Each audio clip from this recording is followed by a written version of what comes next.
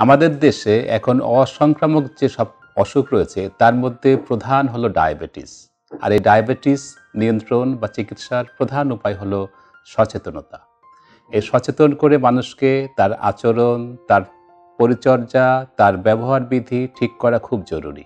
এই উদ্দেশ্যে মন্ত্রণালয়, বাংলাদেশ সরকার এবং ডায়াবেটিক অ্যাসোসিয়েশন তাদের মাধ্যমে আমরা সচেতনতা তৈরির জন্য বিভিন্ন পদক্ষেপ নিয়েছি।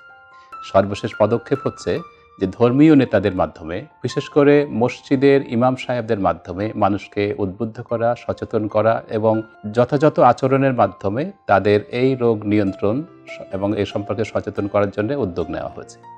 আমি আশা করি এই উদ্যোগের মাধ্যমে বিপুল সংখ্যক মানুষ ইমাম সাহেবদের কাছ থেকে যথাযথ তথ্য নিয়ে তারা ডায়াবেটিস চেক আপ কী পরিমাণ ডায়াবেটিক, রক্তের সুগার তাদের আছে, সেটা চেক করবে এবং এই ডায়াবেটিস নিয়ন্ত্রণ, প্রতিরোধ এবং প্রতিকারের জন্য তারা কি করবে সে বিষয়ে তথ্য জানতে পারবে।